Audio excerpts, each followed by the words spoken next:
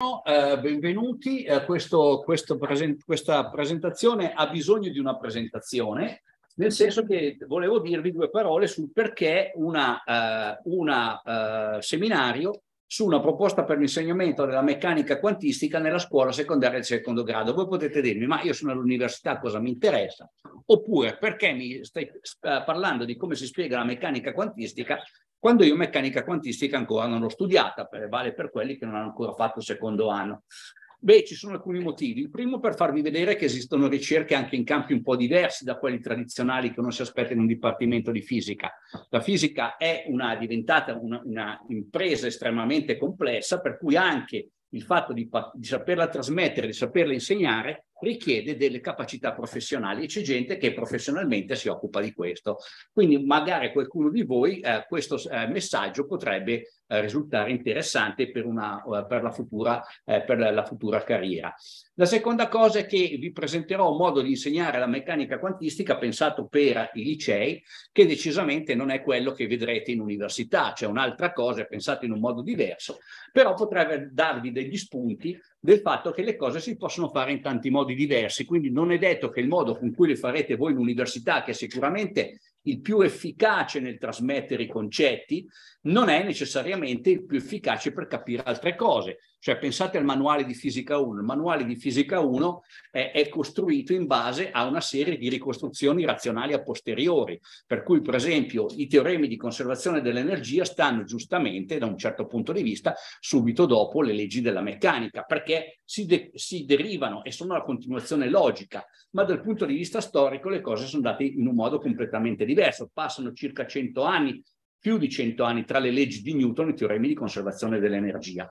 Quindi le, come vanno le cose uh, è uh, spesso più complicato e più a volte anche interessante per chi si interessa di queste cose, di come poi necessariamente viene razionalizzato nel manuale per convogliare un'enorme quantità di informazione nel minimo tempo possibile.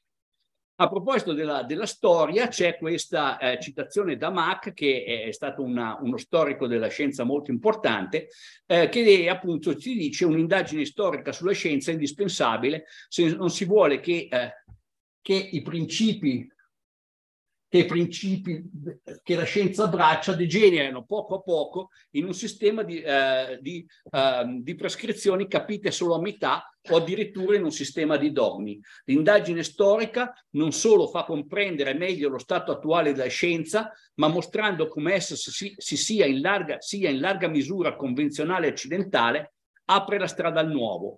Da un punto di vista più elevato, in cui convergono eh, diverse correnti di pensiero, possiamo guardare con una visuale più ampia e scoprire strade non ancora percorse. Questo in un libro famosissimo, La meccanica del suo sviluppo storico-critico, che citerò anche più avanti.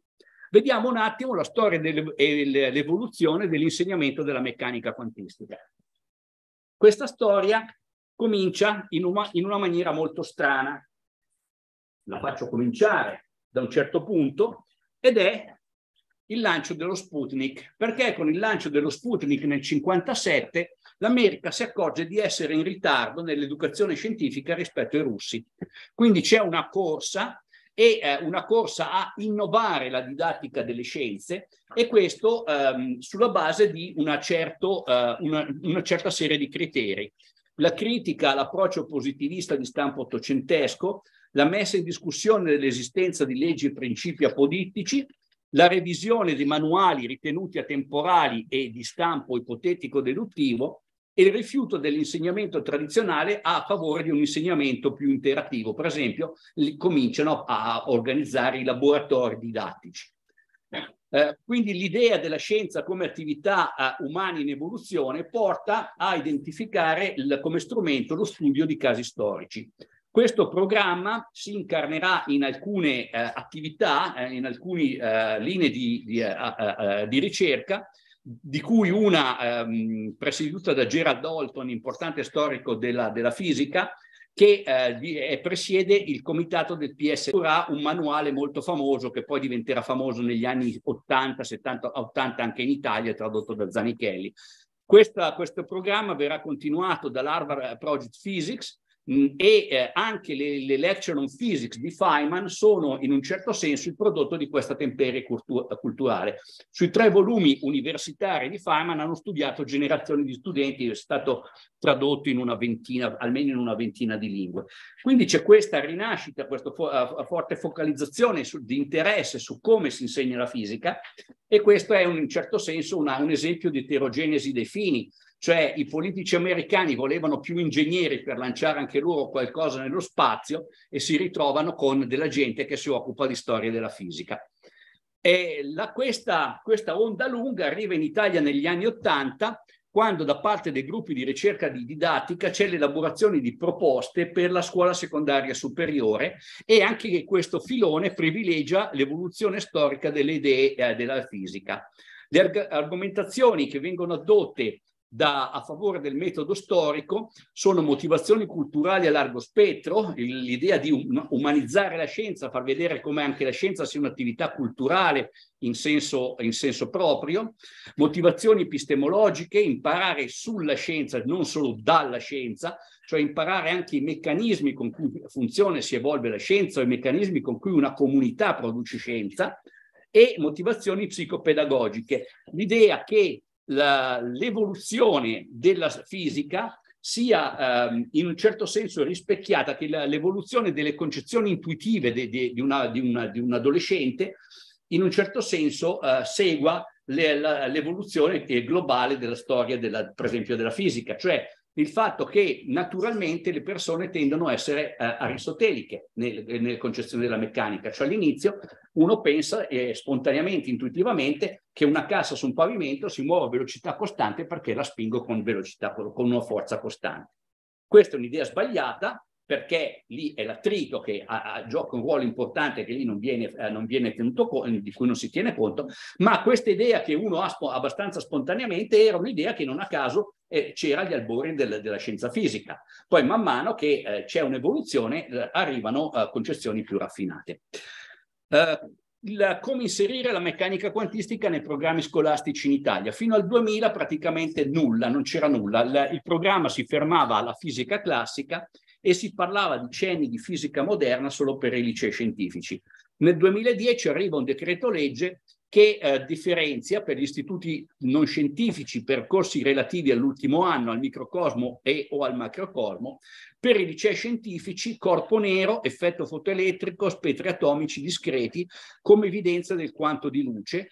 E poi la natura ondulatoria della materia, De Broglie, e il principio di indeterminazione. È poco più che, sono poco più che appunti scritti sul retro di una busta, perché voi capite che questo non è un programma organico, non dice cosa, come, quando, e infatti è, è abbastanza mm, mo, mm, mm, modesta come indicazione e lascia a, aperti vari problemi e difficoltà.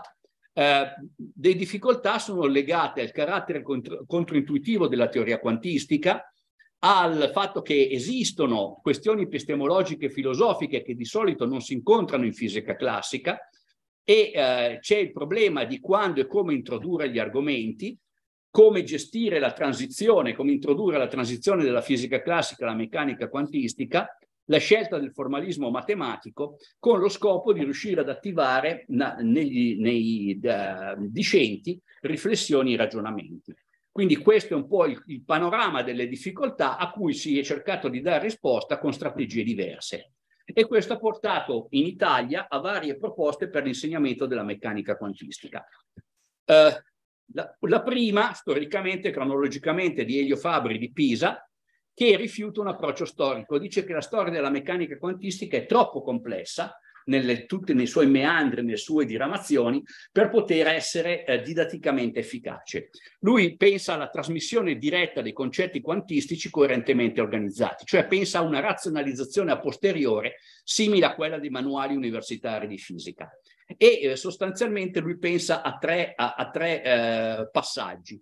Um, innanzitutto introdurre i risultati sperimentali che hanno portato ai primi modelli quantistici, cioè lui vuol far vedere che questa, la teoria quantistica non nasce dalla, dalla, da, dalla, dalla mente di, di, una, un, di un fisico che una mattina si è svegliato, nasceva da una serie di problemi eh, sperimentali che non avevano più risposta nell'ambito, nel quadro della fisica classica. Eh, non entrerò nei dettagli, chi è interessato può leggere i passaggi che lui indica per arrivare a questo. Secondo passaggio, il ruolo della probabilità e lo sviluppi della fisica statistica. La probabilità viene solitamente negletta in fisica classica, è qualcosa di cui difficilmente, con cui difficilmente si fa Uh, riscontro e invece uh, diventa importante quando si parla di uh, fisica quantistica. E quindi lui dice bisogna introdurre il concetto di probabilità in maniera rigorosa. Lo fa con le distribuzioni di Boltzmann, ovviamente la matematica, questo, la matematica che soggiace a questo tipo di trattazione è troppo complicata per il liceo e lui suggerisce di utilizzare ehm, delle simulazioni numeriche al computer e la, la, il punto mh, il nodale, il punto centrale della sua proposta è il calcolo di arrivare al calcolo delle ampiezze di probabilità e in questo modo introduce la complementarità, il principio di sovrapposizione relazioni di, inter, eh, di, indeterminazione e interpretazione probabilistica. Lui stesso si dichiara non completamente soddisfatto della proposta. Lui dice non è organica quanto vorrei, cioè è un tentativo di organizzare una materia complessa e vasta e quindi questo è un tentativo che lui stesso dice non essere eh, pienamente soddisfacente. Seconda, uh, un secondo approccio completamente diverso è di uh, Giuseppina Rinaudo di Torino e in realtà si tratta di due proposte diverse, ma l'idea è quella di trovare invece una continuità con la uh, fisica classica. La continuità con la fisica classica viene trovata innanzitutto in una prima proposta introducendo la quantizzazione dell'energia E uguale a Canù a partire dalla costante di Planck che viene vista come punto nodale della diramazione tra uh, fisica classica e meccanica quantistica. Questa proposta viene ulteriormente poi elaborata qualche anno dopo nel, nell'idea di un esperimento, quello della doppia fenditura in ottica, di cui poi parleremo diffusamente, per creare un ponte tra fisica classica eh, e meccanica quantistica. Il punto di arrivo è quello di eh, convincere gli studenti che in meccanica quantistica è necessario abbandonare l'idea classica di traiettoria. E l'oggetto, perché? Perché l'oggetto quantistico, si vuole far vedere, si muove su tutti i possibili cammini di Feynman. E quindi questo passaggio, questa continuità e discontinuità è proprio rappresentata da quello che succede nel caso di una doppia fenditura. Eh, una eh, impostazione che invece definirei assiomatica è quella proposta da Marisa Michelini dell'Università di Udine, che parte dalla definizione dello stato quantistico del principio di sovrapposizione, cioè parte proprio a definire quali sono gli strumenti formali e, e concettuali della meccanica quantistica per poi applicarli. Utilizza l'ottica, la polarizzazione della luce e esperimenti con fotoni, polaroid e cristalli birifrangenti per creare un ponte tra concetti classici, lo stato di un fotone polarizzato linearmente, che, a cui corrisponde in meccanica quantistica un vettore in uno spazio di bidimensionale.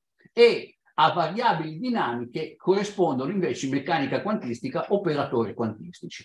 Ricava poi il concetto eh, quantistico di incompatibilità e le relazioni di indeterminazione di Heisenberg.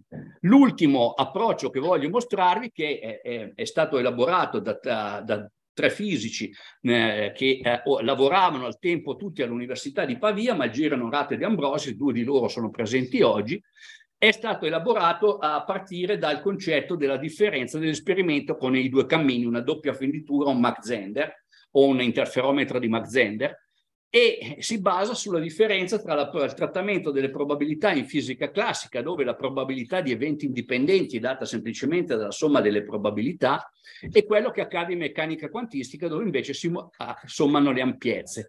Allora voi vedete semplicemente che quando voi qui avete eventi indipendenti, ma fate il modulo quadro, per avere la probabilità dovete fare il modulo quadro dell'ampiezza, quando qui avete un binomio, inevitabilmente avrete, avrete un termine corrispondente, diciamo, al doppio prodotto, cioè avrete dei termini di interferenza. Quindi nella, in, in, meccanica quantistica compaiono dei termini di interferenza che non ci sono nella probabilità di tipo classico. Mediante degli esperimenti ehm, descritti, l'effetto fotoelettrico o in parte anche realizzati, effetto fotoelettrico contro doppia fenditura, si, uh, si, arriva alla necessità di uh, postulare l'esistenza del fotone. Uh, un esperimento recente di Granger, Roger Respect convince, deve convincere gli studenti, gli stu studenti della indivisibilità del fotone, e, eh, e l'interferometro di Mach-Zehnder dell'esistenza e del ruolo di questi termini di interferenza. L'indivisibilità del fotone che cosa significa? Vuol dire che quando c'è una doppia fenditura, il fotone non si divide in due per passare un po' di qua, un po' di là, come possia, possiamo pensare faccia un'onda. Il, il fotone è un oggetto quantistico unico e non può dividersi per passare ad entrambe le fenditure. La, questo porta apparentemente a dei paradossi e eh, per esempio il paradosso in un Mach-Zehnder, che è uno strumento, una, un, un, interferometro simmetrico, avete questo, questa situazione strana dove con questa eh, struttura voi avete che il rivelatore 1 riceve il 100% del segnale, cioè dei fotoni emessi dalla sorgente eh, eh, divisi in questo divisore di fascio e poi riflessi da questi due specchi, M1 e M2, e l'altro rivelatore invece non riceve fotoni. Se voi ragionate eh, oscurando prima uno specchio e oscurando poi l'altro, oscurando uno specchio vedreste che questi due rivelatori ricevono il 50 e il 50, eh, oscurando l'altro specchio analogamente riceverebbero il 50 e il 50, quindi voi vi aspettate intuitivamente che quando entrambi gli specchi sono funzionanti si riproduca la stessa situazione, cioè il 50 e 50 di segnale sui due rivelatori. Invece no, eh, proprio la, eh, fenomeni di, eh, i fenomeni di termini di interferenza giocano in un modo tale con gli sfasamenti per cui tutto il segnale è raccolto da un solo rivelatore. E queste erano le proposte di cui vi volevo parlare. Adesso veniamo a una proposta didattica che ho elaborato in vari anni insegnando es essenzialmente storia e fondamenti della meccanica quantistica ed è una proposta che in un certo senso ribalta i termini del problema. Cioè io sostengo che il problema nell'imparare la meccanica quantistica è un problema concettuale, è un problema di filosofia, è un problema di idee. E invece la tecnica, le tecniche matematiche, sono, si possono derivare facilmente a questo livello, ovviamente. Stiamo parlando di scuola superiore, non sto parlando di spazi di Hilbert o di delta di Dirac. E che è necessario fornire gli strumenti per affrontare i problemi concettuali e filosofici che questa nuova teoria pone rispetto alla teoria classica. Premesse filosofiche. La, le premesse filosofiche fondamentali è che per formulare teorie scientifiche de, si devono compiere tre scelte di tipo metafisico. Cioè cosa intendo per metafisico? Che non sono scelte razionalmente basabili sulla scienza. Cioè per fare scienza dovete fare delle assunzioni extrascientifiche. Queste tre assunzioni sono quella del realismo, cioè dovete decidere che esiste una realtà esterna e che ha una sua logica, perché se no non fate il mestiere dello scienziato, vi dedicate ad altro.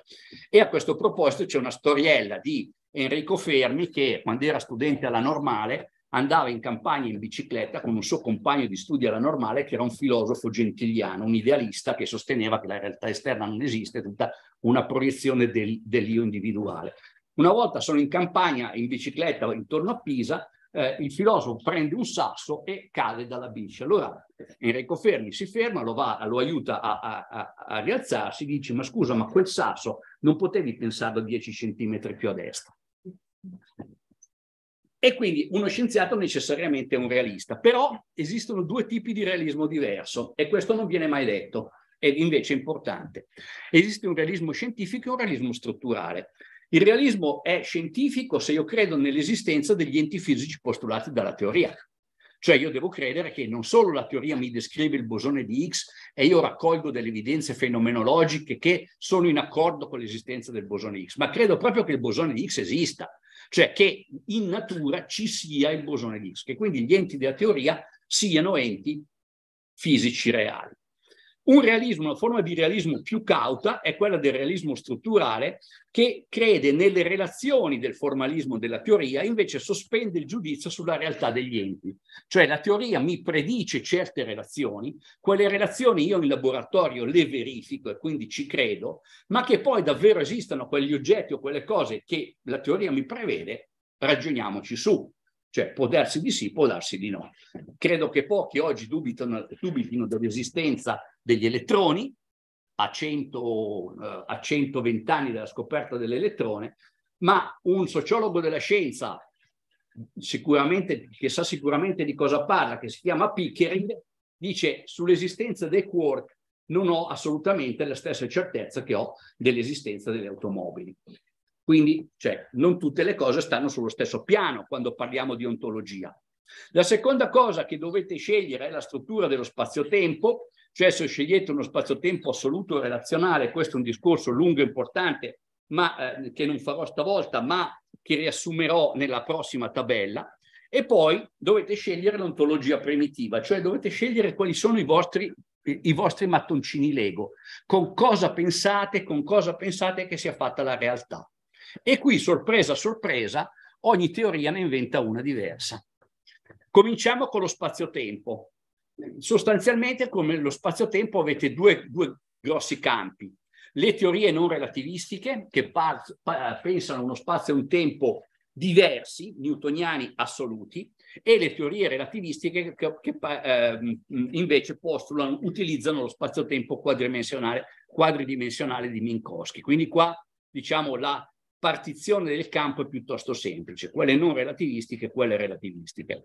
Ma quando invece andiamo a vedere l'ontologia primitiva, il discorso diventa molto più complicato. Perché vi accorgete che quasi ogni teoria, non, non quasi, ma varie teorie postulano enti diversi. La meccanica di Newton, per esempio, pensava che esistessero forze e particelle la meccanica classica onde e particelle. La meccanica quantistica non relativistica è molto peculiare, utilizza il dualismo onda-particella di cui ci occuperemo molto da qui in poi. Le teorie successive, quasi tutte, invece, utilizzano campi e particelle. Quindi vedete che non è assolutamente omogenea la prescrizione, la ricetta su come, eh, su come si costruisce una teoria fisica. Oh, varie teorie postulano vari enti diversi per costituire la, la propria ontologia. Veniamo all'ontologia della meccanica, all'ontologia primitiva della meccanica quantistica, che è basata sul dualismo onda-particella. Non vado adesso attraverso tutti questi passaggi, perché li vedremo più avanti nel, nella parte terminale della presentazione. Voglio soltanto dirvi che guardate in quanti modi diversi è stato interpretato il dualismo onda-particella. Cioè ci sono sei o sette modi diversi di cercare di capire cosa diavolo è questo dilemma onda-particella. E perché ci sono sei o sette interpretazioni diverse? Beh, perché bisogna capire il rapporto tra formalismo e interpretazione in una teoria, altra cosa che spesso viene sottaciuta. La matematica, il formalismo, è in sé un linguaggio autoevidente. Quando io dico F uguale a m per A, da un punto di vista matematico sto dicendo una banalità moltiplico uno scalare per un vettore e ottengo un vettore. Niente di più, niente di meno. Dal punto di vista della fisica sto dicendo una cosa complicatissima, perché devo dare il significato ai simboli, che cos'è F, che cos'è M, che cos'è A, e non è assolutamente scontato. Infatti ci vorranno 200, quasi 200 anni tra la formulazione della legge della dinamica da parte di Newton e Principia e la prima ricostruzione razionale cons consistente della legge della dinamica da parte di Mach in quel libro La meccanica nel suo sviluppo storico-critico del 1883. Quindi ci, cioè, ci sono voluti 200 anni per capire che cosa Newton aveva scritto 200 anni prima. E l'interpretazione del formalismo è quindi parte essenziale di ogni teoria formalizzata. Formalizzata vuol dire espressa matematicamente. Dice Max Hammer, che è stato un importantissimo filosofo della meccanica quantistica, la formulazione e comprensione di una teoria fisica necessita sia del formalismo matematico sia dell'interpretazione epistemologica. Servono tutte e due, ma non stanno sullo stesso piano. Per dirvi come, come stanno, più o meno uso questo schema. Questa figura vi fa vedere che la teoria fisica è una specie di, pensiamo a un oggetto, se volete un frutto, che ha un nocciolo e una polpa. Il nocciolo è il formalismo, sono le equazioni che caratterizzano quella teoria e invece l'interpretazione, il senso che date ai simboli che compaiono nel formalismo è l'interpretazione che avvolge il formalismo. Ora, il formalismo non può cambiare, se cambiate il formalismo, se cambiate l'equazione, state cambiando teoria. Il formalismo è il nocciolo duro. L'interpretazione no, l'interpretazione può cambiare molto. Potete cambiare più volte l'interpretazione mantenendo lo stesso formalismo, dipende da tante cose. E ricordiamoci sempre che tutta la teoria formalismo-interpretazione poggia su delle premesse che non sono, eh, non sono fisiche, sono metafisiche. Quella metafisica influenza, cioè quelle premesse non non scientifica ma di tipo filosofico che dovete fare prima di, di decidere che costruite la teoria in un certo modo. Quindi questi sono gli, gli ingredienti che, di cui bisogna tenere conto. E veniamo alla fisica dei quanti. Il punto di partenza è la fisica dei quanti. La fisica dei quanti è necessario introdurla ora eh, con un approccio più o meno storico perché ci darà gli elementi fondamentali per ricavare poi in modo facile la meccanica quantistica. La fisica dei quanti, come molti di voi sanno, comincia con Max Planck nel dicembre del 1900 e quando lui si occupava di studiare lo spettro emissivo del corpo nero che presentava dei problemi non facilmente risolubili sulla base della fisica classica.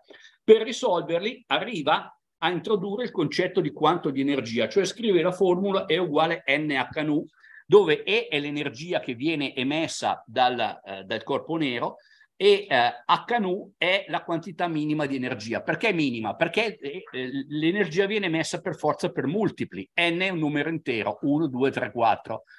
HNU dovete pensarlo come il centesimo. Non potete fare uno scambio economico che sia sotto il centesimo, perché non esiste una moneta più piccola del centesimo. Voi spenderete sempre multipli di un centesimo.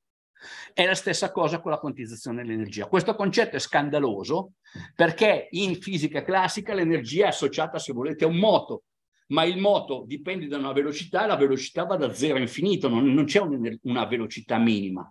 Voi potete partire da, da, da, fermi, non avete energia cinetica, man mano che aumentate la vostra velocità, aumentate la vostra energia cinetica. L'energia è una proprietà che varia nel continuo in fisica classica qui emerge invece questa quantizzazione dell'energia. Quantizzazione delle, dei quanti di energia che il corpo nero emette come radiazione, come onde elettromagnetiche e, e che, ehm, che vengono emesse dal corpo riscaldato a una certa temperatura. Per Planck si trattava soltanto di un artificio matematico, cioè di un modo per far quadrare i conti. Cinque anni dopo, Albert Einstein ipotizza invece che la luce a livello microscopico sia costituita proprio di particelle, queste particelle che lui chiama quanti di luce e noi ora chiamiamo fotoni e se nu è la frequenza della luce, l'energia di quei fotoni è sempre E uguale a HNU, la stessa formula di Planck, dove H è quella costante che oggi chiamiamo costante di Planck. Grazie a tale ipotesi, cioè dell'esistenza dei fotoni, a riuscì a spiegare nel 1905 l'effetto fotoelettrico per il quale vinse il Nobel nel 21. E l'effetto fotoelettrico spiegato da Einstein consiste nel fatto che se della luce di una certa frequenza incide su un metallo, ne fuoriescono degli elettroni. La cosa anomala era che, per esempio, su un metallo di sodio, su una superficie di sodio, la luce incidente rossa non provocava effetto fotoelettrico, la luce incidente blu sì.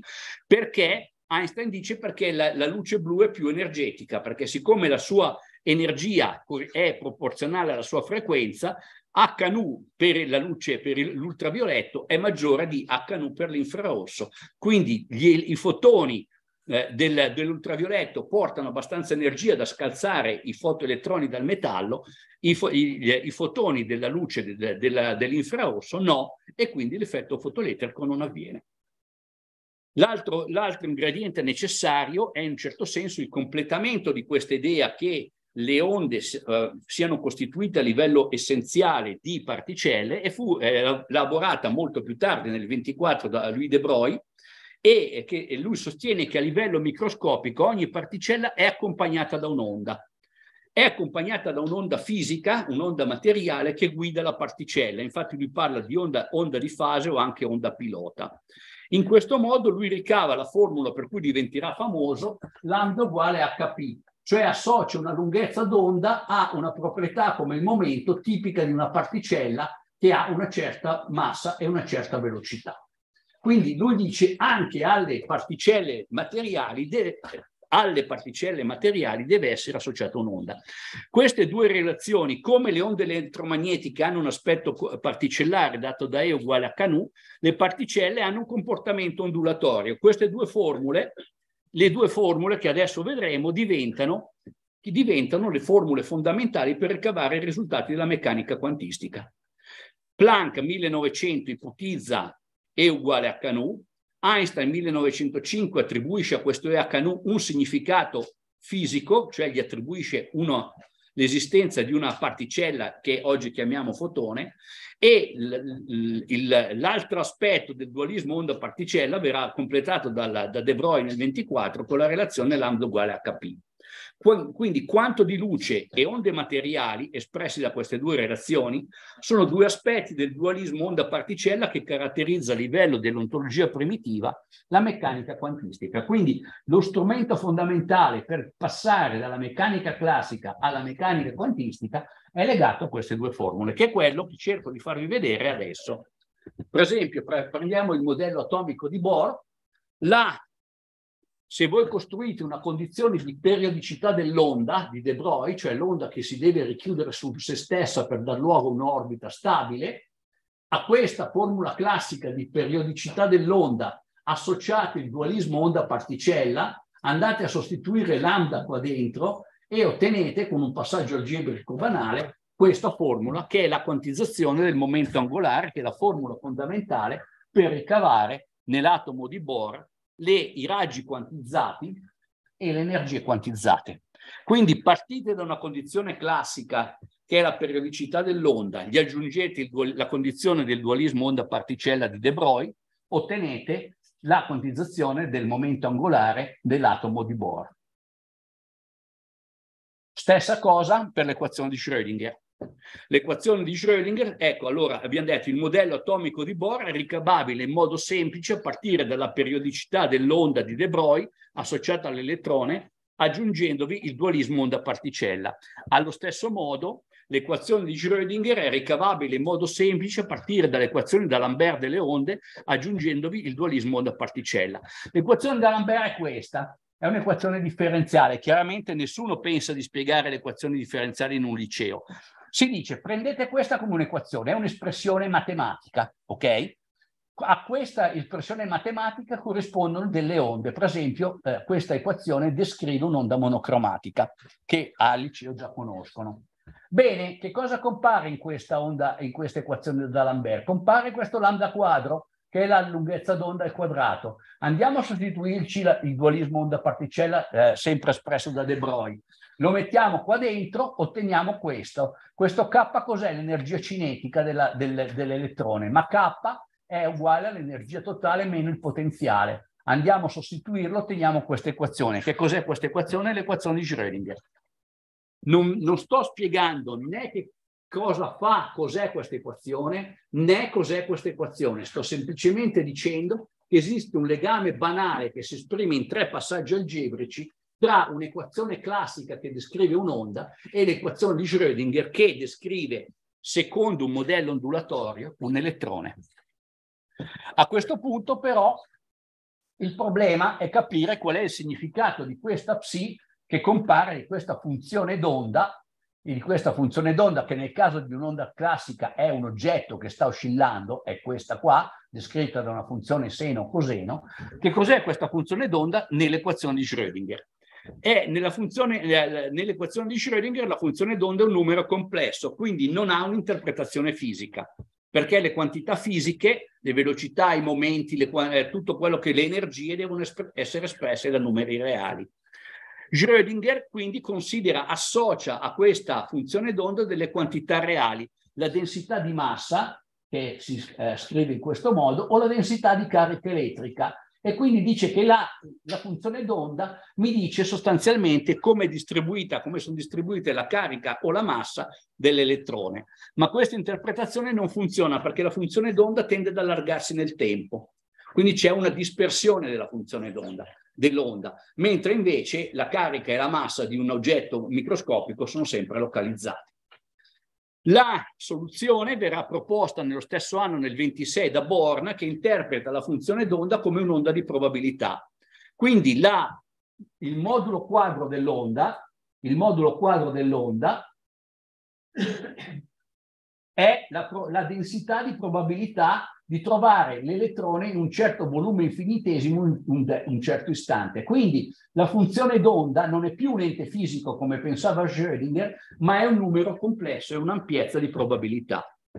E questo cambia le regole del gioco, perché le, la, eh, la, meccanica quantistica descrive gli eventi fisici in termini di, un di una probabilità perché è la probabilità l'oggetto dell'equazione di Schrödinger, non è la velocità o la posizione, è la probabilità che evolve nel tempo secondo l'equazione di Schrödinger. E allora qui abbiamo una differenza fondamentale con la meccanica classica. Mentre la meccanica classica mi parla di, pro di probabilità epistemiche che sono legate alla mia ignoranza, cioè quando io lancio un dado ottengo l'esito 1 con probabilità un sesto, soltanto perché non so descrivere in tutti i dettagli la dinamica del dado che vola, che rotola, che rimbalza e che deterministicamente mi dovrebbe dare uno se io sapessi fare tutti i conti per bene.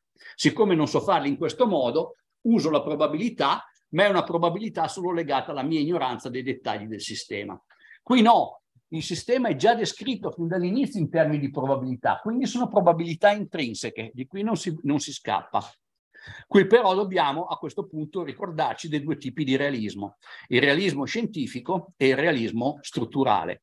Se io sono un realista strutturale, attribuirò queste probabilità alla struttura formale, cioè alle equazioni della mia teoria, sospendendo il giudizio sul fatto che il mondo sia intrinsecamente probabilistico o no. Cioè non posso da qui dedurre che allora Dio gioca a dadi.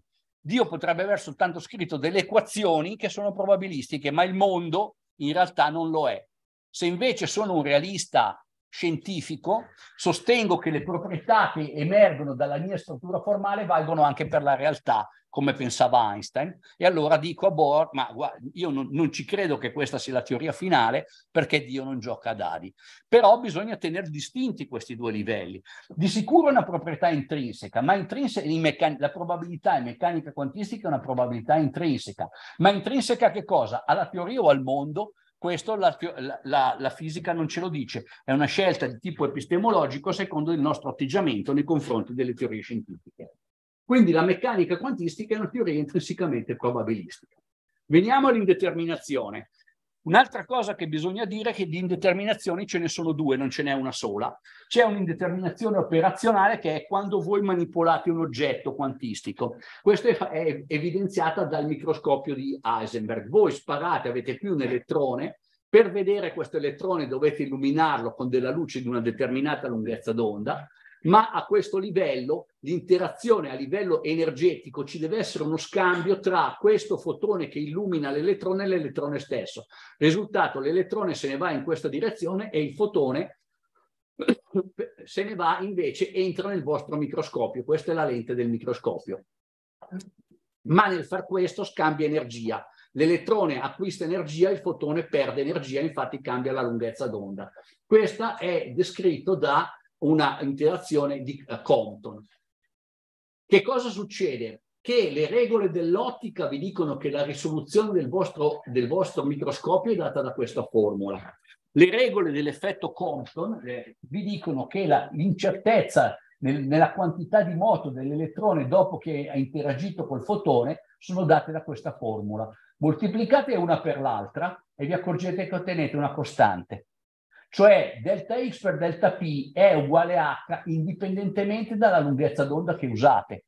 Potete cambiare la lunghezza d'onda come volete, ma siccome cambia qui al numeratore e qui al denominatore, il prodotto darà sempre h. Avete scoperto una incertezza, o meglio che il prodotto di due incertezze non può essere minore di una quantità positiva.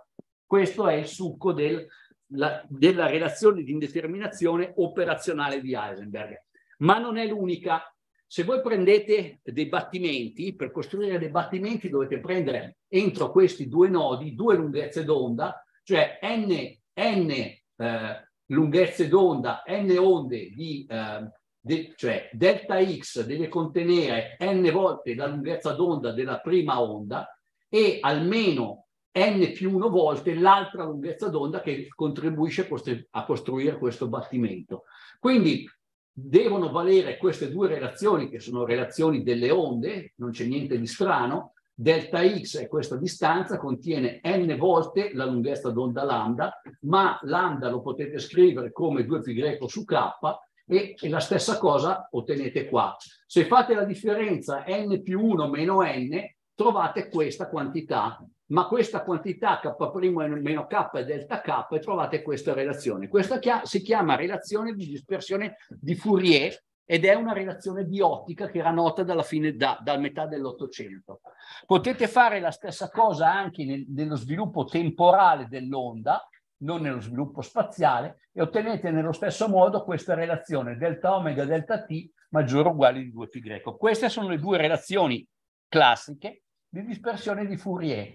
E adesso vediamo che l'indeterminazione di Bohr è ricavabile in modo semplice a partire dalle relazioni di dispersione di Fourier, aggiungendovi il dualismo onda-particella. Partiamo dalle relazioni di dispersione che abbiamo appena ricavato.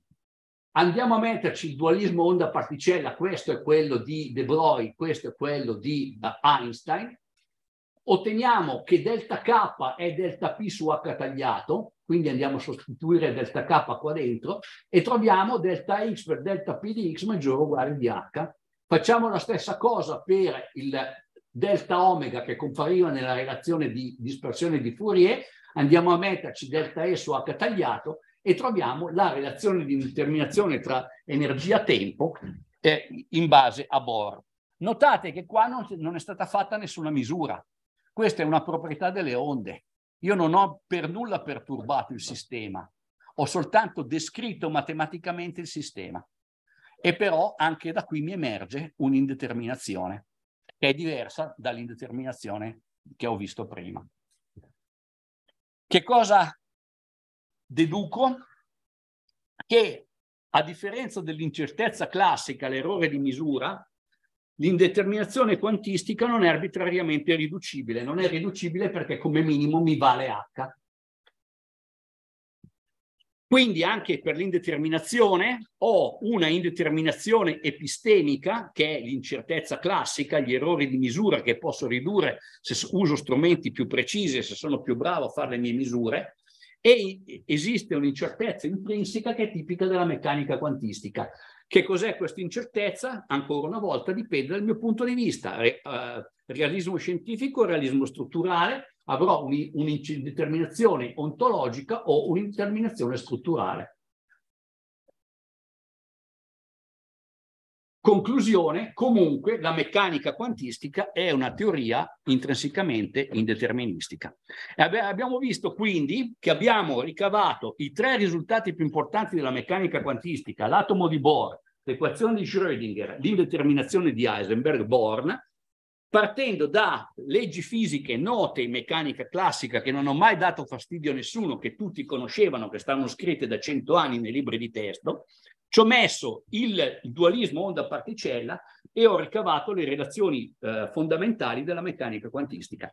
Allora a questo punto diventa importante capire qualcosa di più in dettaglio su questo dualismo onda-particella.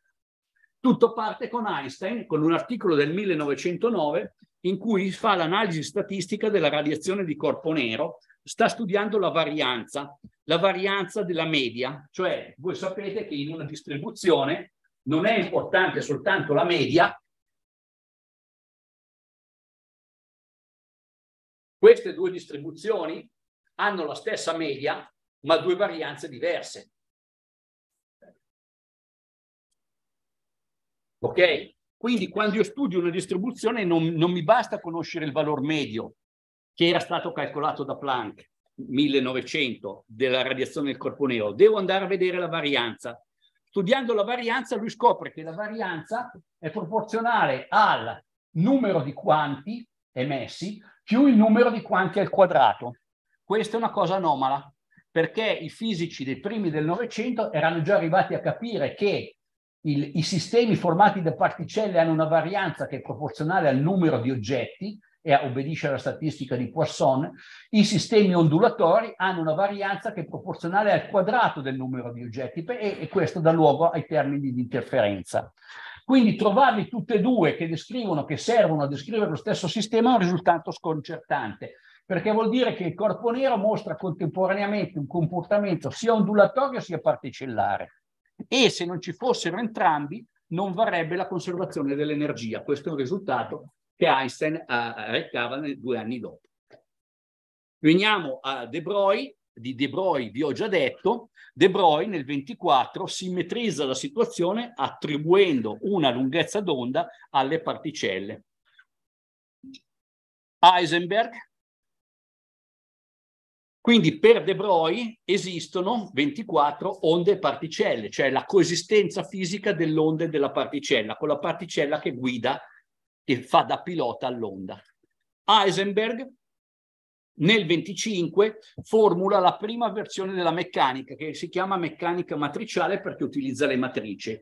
Si, eh, si, tratta di un calcolo di quantità fisiche senza nessuna visualizzazione matematica cioè loro volevano arrivare a calcolare, fare dei conti senza passare attraverso un modello. Quindi loro non volevano pensare né a orbite, né a particelle, né a onde. Si facevano i calcoli e basta. Si guardava l'esito delle quantità previste dai calcoli e si andava a fare l'esperimento in laboratorio.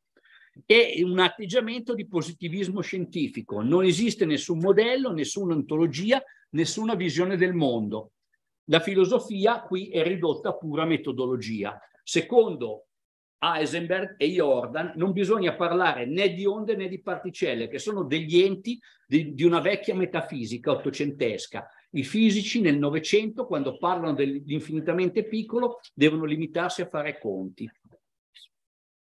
Schrödinger pensava invece, beh, con l'equazione di Schrödinger scrive l'onda delle onde materiali di De Broglie, e ottiene, abbiamo visto, la funzione d'onda che è legata a una probabilità.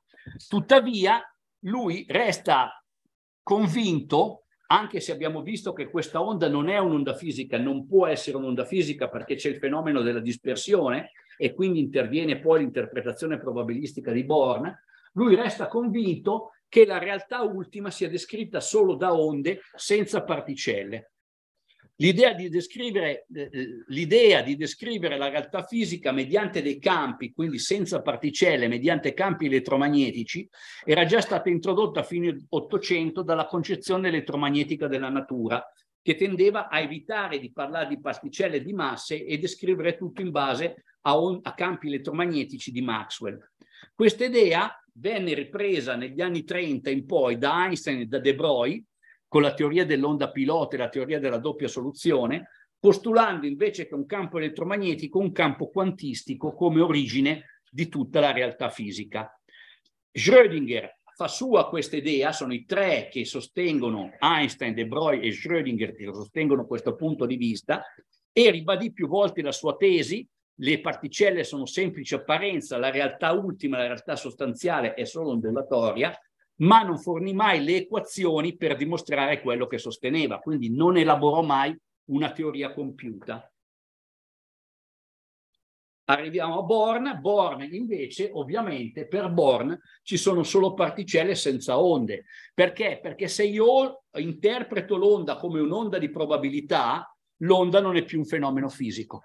Quindi in, nel mondo reale, nel mondo reale io ho soltanto particelle. Quindi l'onda è soltanto un ente matematico e la realtà quantistica è costituita solo da particelle.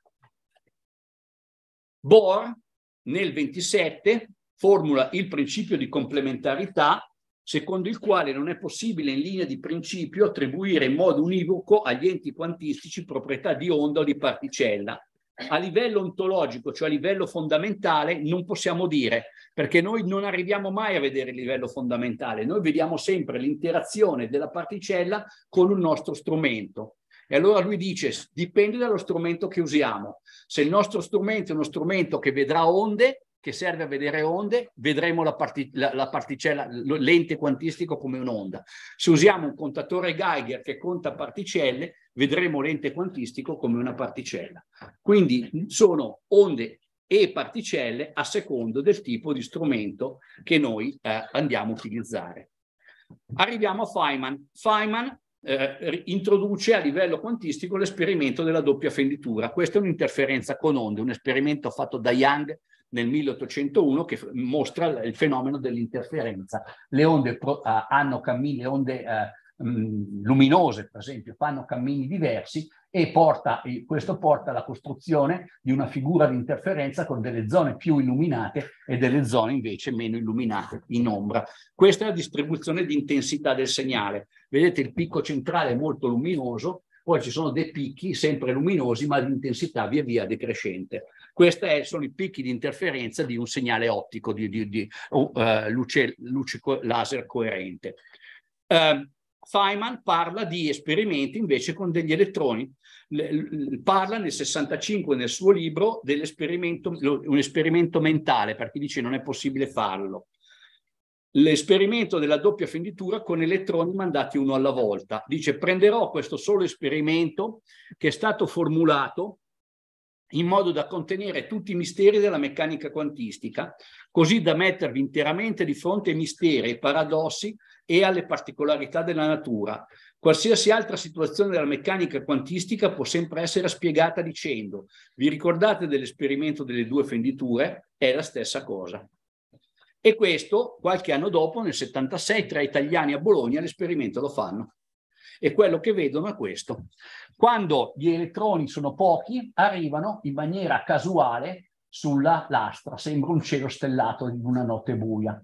Quando si accumula statistica, man mano emergono le, le fasce, le frange di interferenza. Questo esperimento ancora rudimentale è stato poi eh, eh, fatto in maniera molto più raffinata, sofisticata, dieci anni dopo dal giapponese Tonomura, e qui vedete la stessa cosa. Un cielo stellato che man mano si popola sempre più, ma quando si popola fa emergere le frange di interferenza. È l'esperimento di Young con elettroni. Dove sta il mistero di questo esperimento? Per avere la figura di interferenza, pensate alle onde, l'onda deve passare da entrambe le fenditure. Qui ci sono due eh, principi di Huygens, qui ci sono due sorgenti e queste due sorgenti danno luogo a onde sferiche che interferiscono. Quindi l'onda passa da entrambe, l'onda piana incidente passa da entrambe le fenditure e questo provoca l'interferenza. Ma l'elettrone è una particella massiva, non può passare da due parti. E allora? Allora a volte si dice che l'elettrone si propaga come un'onda tra la sorgente e lo schermo e interagisce come una particella sullo schermo, ma in fisica classica non esiste niente che si comporti in questo modo, né le onde né le particelle, quindi questa è una spiegazione ad hoc del tutto insoddisfacente. Infatti Feynman dice dobbiamo concludere che l'elettrone non si comporta in nessuno dei due modi, non è né l'una né l'altra cosa, il comportamento quantistico degli oggetti atomici, elettroni, protoni, neutroni e così via, è lo stesso per tutti. Sono tutti onde particelle o qualunque altro nome vi piaccia dar loro. E qualche anno dopo, due anni dopo, l'epistemologo uh, argentino Mario Bunge propone questo nome per queste onde particelle. Dice chiamiamoli quantoni, così non ci confondiamo. I quantoni sono gli oggetti della meccanica quantistica. Cos'è un quantone? Non lo possiamo capire. Noi vediamo due proiezioni diverse di questo oggetto, un po' come le ombre nella caverna di Platone. Il quantone è qualcosa che noi non vediamo, ma ne percepiamo, se, come diceva Bohr, due proiezioni diverse, o lo vediamo proiettato nello spazio delle particelle e lo vediamo come una particella, o lo vediamo proiettato nello spazio, nello spazio delle onde e allora lo vediamo come un'onda. Noi siamo costretti a vedere solo l'ombra di quello che in effetti è un quantone che non è né l'una né l'altra cosa, in realtà lui sarebbe un cilindro, ma noi ne vediamo soltanto la proiezione come un rettangolo o la proiezione come un cerchio. Ma ultimo passo, il teorema di connessione tra spin e statistica di Pauli dice che esistono due tipi di enti quantistici, i bosoni, che sono gli oggetti che hanno spin intero, e i fermioni, che sono quelli che hanno spin semidispari. E tutti gli enti quantistici, bosoni o fermioni, sono quindi classi- e tutti gli enti quantistici sono classificabili o come fermioni o come bosoni. Inoltre i bosoni obbediscono a una statistica quantistica detta di, Fer- di Bose-Einstein e i fermioni una statistica quantistica detta di Fermi-Dirac. Quindi la realtà, la struttura ontologica della realtà quantistica è costituita non da audioparticelle che esistono, esistevano secondo l'ontologia primitiva della fisica classica, ma da bosoni o fermioni che sono i costituenti elementari della materia a livello uh, subatomico. Quali sono allora le proprietà di questi quantoni? Assenza di traiettoria, di conseguenza non avendo una traiettoria quantoni identici sono indistinguibili. Abbiamo visto che sono caratterizzati da un probabilismo intrinseco, da un determinismo intrinseco, sono dotati di spin, che è una proprietà tipicamente quantistica, di conseguenza sono bosoni o fermioni e in quanto bosoni o fermioni obbediscono alla statistica di uh, Bose-Einstein o a quella di Fermi-Dirac. E infatti il modello standard delle particelle quello che è stato elaborato dagli anni 70 in poi, prevede tutta una serie di mattoni elementari, di eh, mattoncini Lego con cui eh, sono costruite tutte le particelle e tutti questi oggetti sono o fermioni in questo settore o bosoni in questo, in questo settore. Conclusioni.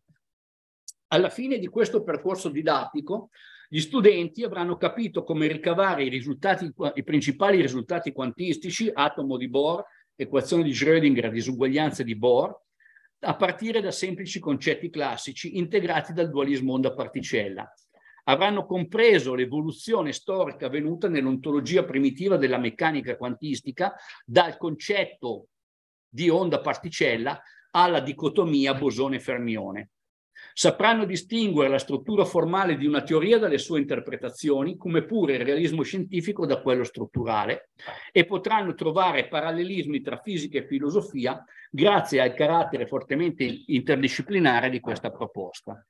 Tutte queste cose che vi ho raccontato sono dettagliate in una tesi fatta dalla dottoressa Ucci, discussa dalla dottoressa Ucci una settimana venerdì scorso qui a Pavia e quindi tutti i riferimenti puntuali a, alle, a, eh, alla bibliografia sono contenuti nella sua tesi che è disponibile su richiesta. Grazie per l'attenzione. Grazie.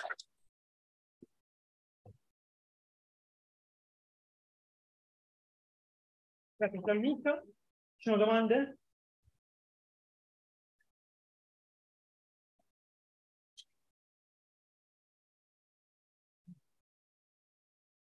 Come proposta per l'insegnamento della scuola secondaria di secondo grado, cioè licei, è un'idea molto ambiziosa.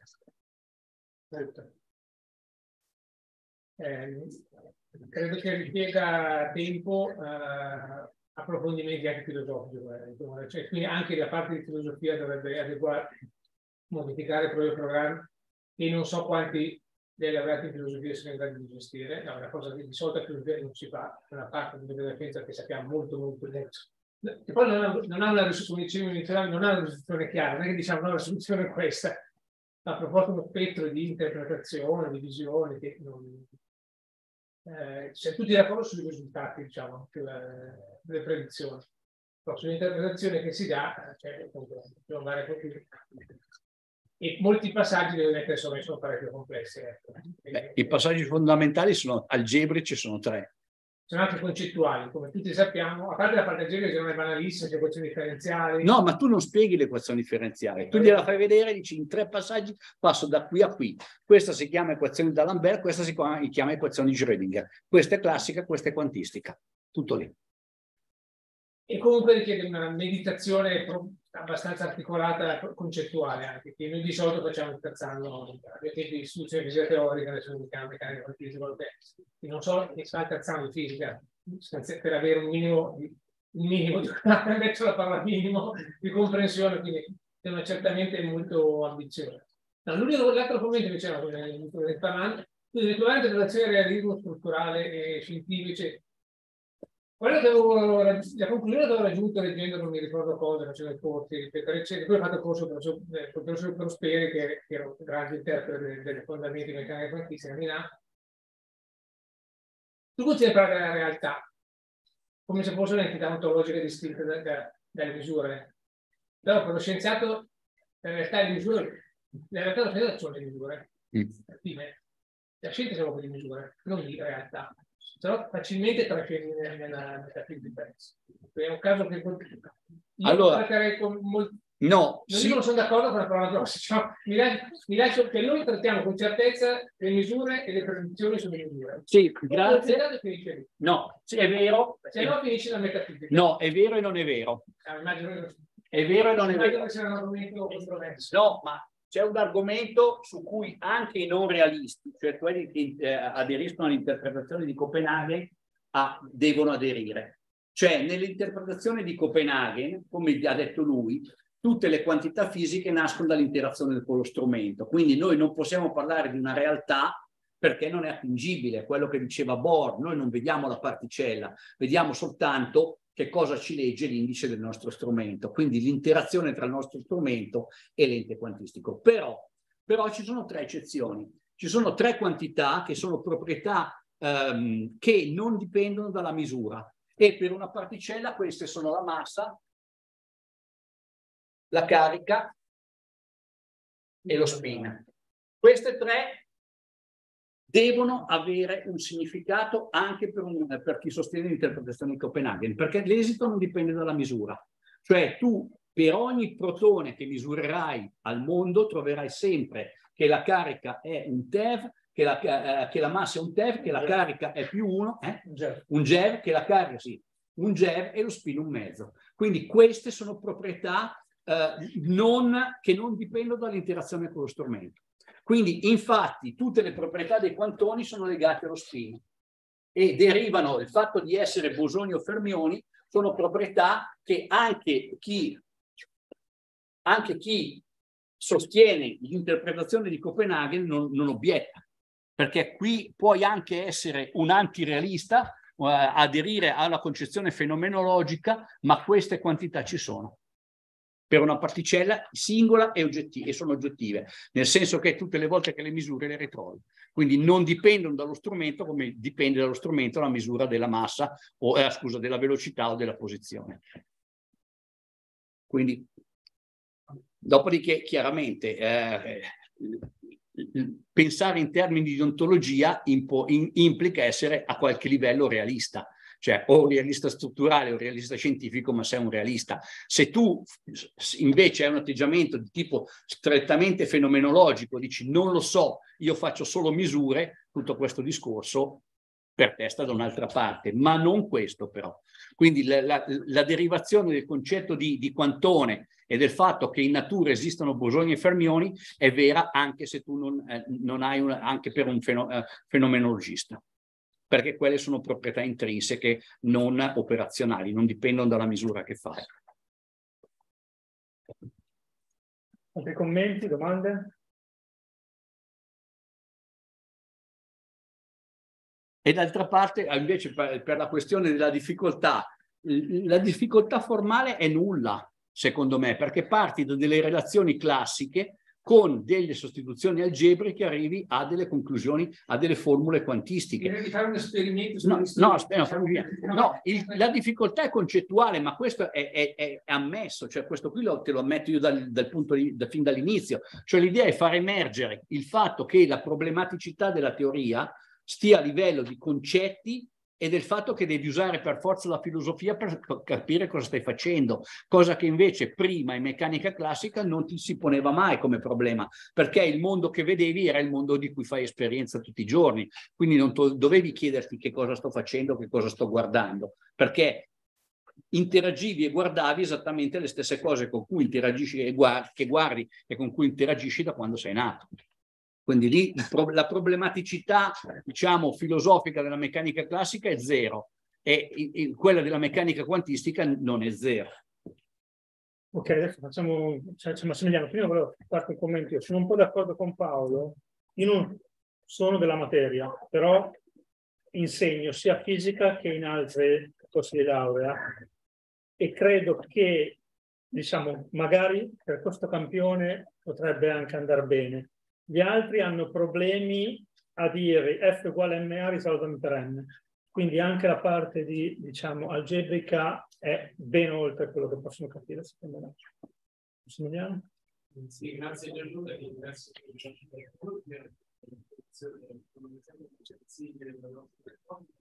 nel 90 questa, per rispondere a chi dice che le innovazioni di le ore di disturbo non andrebbero presentate a livello di scuola secondaria perché diciamo contestate meno, meno importanti di quelle di coordinazione. E non è vero che sono meno importanti o contestate a livello scientifico, esistono una serie di lavori scientifici degli anni 2000 eh, essenzialmente legati a, a, a tre autori, eh, BLV, Bush, Lati e Werner, che sono i più grossi esperti mondiali di questa materia, che hanno lavorato a lungo per arrivare a una dimostrazione di questo tipo, di, del perché avviene un'interazione tipo, eh, di tipo interazione disturbo e inoltre che se uno vuol vedere invece dal punto di vista delle misure, una, esistono delle relazioni universali, eh, delle relazioni universali eh, dovute a Fujikawa, che sono sostanzialmente queste. Questo è l'errore, più questo è l'errore intrinseco, l'errore statistico della, del primo, sulla prima misura, per il disturbo sulla seconda misura, più l'indeterminazione intrinseca sulla seconda misura, e queste sono maggiori o uguali di una quantità che è sostanzialmente data da teorema di Robertson. Ok? Quindi queste qua, queste qua è una relazione universale, si chiama relazione di determinazione universale di Fujikawa,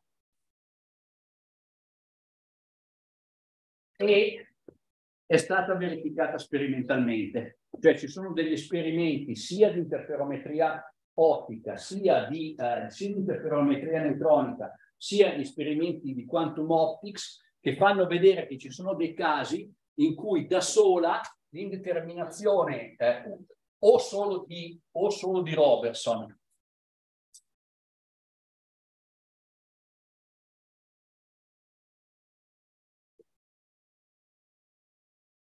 o solo di Heisenberg non dando un po' argomenti accademici. Eh? Allora, o una o l'altra, questa qui è quella intrinseca, questa è l'indeterminazione statistica intrinseca, questa è l'indeterminazione operazionale, cioè dovuta a una misura, e questa sarebbe uguale alla stessa quantità, o solo questo, solo questa non bastano, devi utilizzare questa relazione per poter dar conto dei risultati. Quindi ce le hai tutte e due, non è che ce ne hai una e non l'altra. Dopodiché, anche perché è facile invece, secondo me, capire, è, è molto facile capire perché ti ritrovi Heisenberg perché se è un livello, mentre la misura classica non perturba il sistema, quando io con un amperometro vado a fare una misura di corrente, il delta di corrente, cioè la corrente che ne assorbe l'amperometro, è molto piccola perché uso una resistenza grande, quindi il flusso di corrente nel circuito sostanzialmente non cambia. Quando io ho un elettrone e un fotone non posso non, non, non sparare qualcosa di lunghezza d'onda tale che mi fa muovere l'elettrone. Quindi il disturbo, quando io gli sparo contro un fotone per andare a vedere dove va a finire il fotone, è inevitabile, perché non ho niente di più piccolo del fotone con cui far interagire questo elettrone. Cioè la sonda e il sistema fisico sono energeticamente dello stesso, dello stesso ordine di grandezza. Quindi non è una, non è una uh, come posso dire, una piuma che va a, a, a, interagire con un'automobile. È uno scontro tra due automobili e entrambe le automobili cambiano direzione come effetto di questa, di questa interazione, perché sono dello stesso ordine di grandezza. Cioè l'indeterminazione operazionale a livello microscopico è inevitabile. È più difficile spiegargli perché c'è quella intrinseca che quella operazionale. Va bene, andiamo con un'altra domanda dal punto di vista del disegno di non sarebbe anche più semplice partire dagli esperimenti, magari quello della doppia venditura dell'elettrone, e poi sempre il rigore matematico, comunque complicato, ma comprendere, dare subito un'interpretazione singola, ad esempio quella molti monti oppure un'altra. Allora, molti... Cercare di spiegare gli esperimenti in questo modo tralasciando la parte tematica, perché alla fine uno studente delle superiori difficilmente andrà subito dopo il liceo a incontrare nel mondo reale questi problemi. È più importante che comprenda i problemi su cui modo pensare. Sì, però eh, tieni conto che la, matema- la fisica ha anche un suo formalismo, non è che tu spie- spieghi, eh, spieghi tutta la meccanica classica per esperimento. No, però cioè, se non capisci l'esperimento, cioè se hai anche la formula matematica ma non la capisci, se spinge lo studente ad allontanarsi da quella brancia. Ma se hai l'esperimento e non lo interpreti matematicamente, non hai capito l'esperimento. Cioè, le due cose vanno assieme. Non, può, non hai uno senza l'altro. Certo, però per un studente del superiore Cioè- è più semplice capire ciò questo accade così. Sì, ma ciò- que- questo accade così non è una spiegazione. No, ovviamente non è la spiegazione che va data all'università a uno studente di fisica, però una persona che poi andrà a studiare economia o medicina credo possano stare. Sì, sì, questo è legittimo, cioè quello che dici, perché se- siccome siamo a livello di proposte, non esiste una proposta giusta e una proposta sbagliata. Cioè ti faccio notare due cose, che quello che dici in realtà assomiglia molto, per quanto capisco, alla proposta di Elio Fabri. Cioè cominciamo con le evidenze sperimentali e da lì costruiamo una, eh, una consapevolezza che le cose vanno in modo diverso, legittimo. La, il fatto che però a un certo punto devi metterci dentro la teoria nasce dal fatto che se anche tu parti da un'evidenza di, un, di un- uno strumento come Mark Zender, come fa, fanno il gruppo di Pavia, che si comporta in maniera diversa da come ti aspetti, poi però devi spiegarti perché e questo implica un aspetto teorico che ti porta a parlare di termini di interferenza, cioè perché gli sfasamenti qui sono importanti e non sono più quelli classici. Cioè, e questo comunque una teoria devi metterla dentro. Ma il mio tentativo è proprio quello di avere un approccio diverso, cioè farti vedere qui il problema è un problema, i- risultati li ottieni secondo me con tre passaggi algebrici che se uno a livello di liceo o peggio ancora a livello di università non sa fare, abbiamo seri problemi di alfabetizzazione scientifica. Ma a prescindere da questo, diciamo a prescindere da questo, eh, secondo me il problema che non viene messo in evidenza è che la meccanica quantistica ti dà seri problemi di comprensione eh, concettuale.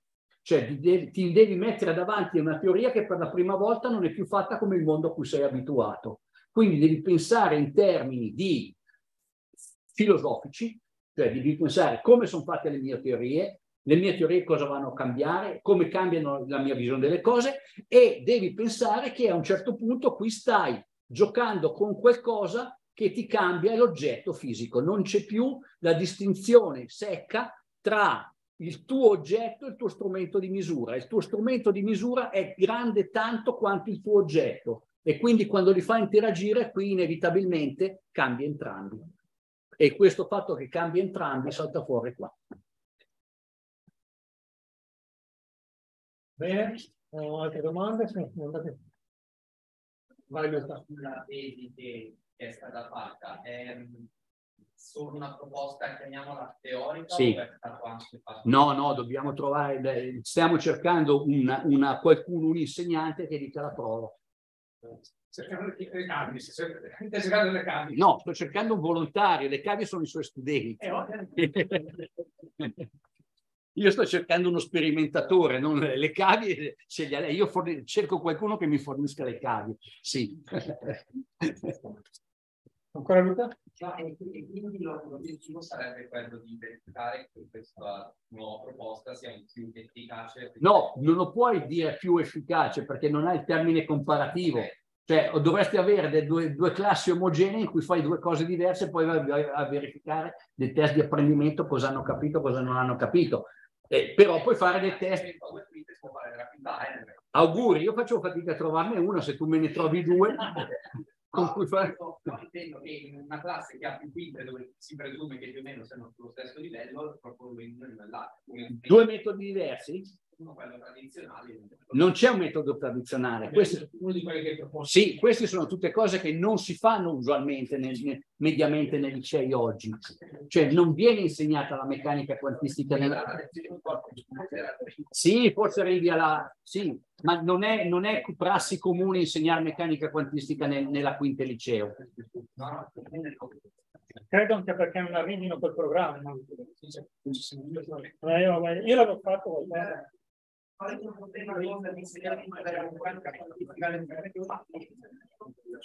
Come è stato dimostrato, livello non è così, anzi da poter arrivare a parlare per davvero di meccanica quantistica, ci si ferma prima, si ferma alla Io ti posso dire qual è la mia esperienza. Io ho fatto un liceo sperimentale, un progetto pilota, abbiamo fatto cinque anni di fisica, il quinto anno è stato tutto di fisica moderna, abbiamo finito l'elettromagnetismo in quarta. Non, è, non era molto interessante dalla prima, sono arrivato alla proposta. E noi sì, abbiamo, abbiamo, facevamo i vari tipi di reattore, l'ultimo argomento erano i vari tipi di reattore. Emiliano?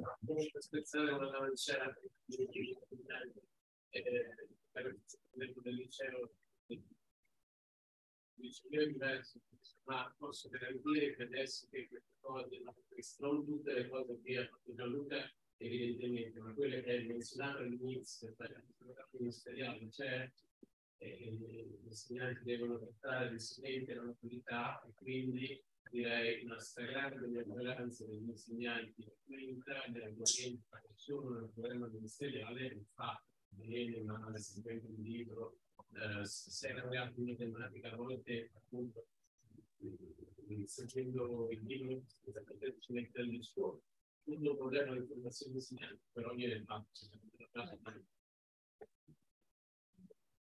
ok siamo andati già un po' lunghi. Se non ci sono altre domande ringrazierei ancora il professor Introzzi. Grazie a voi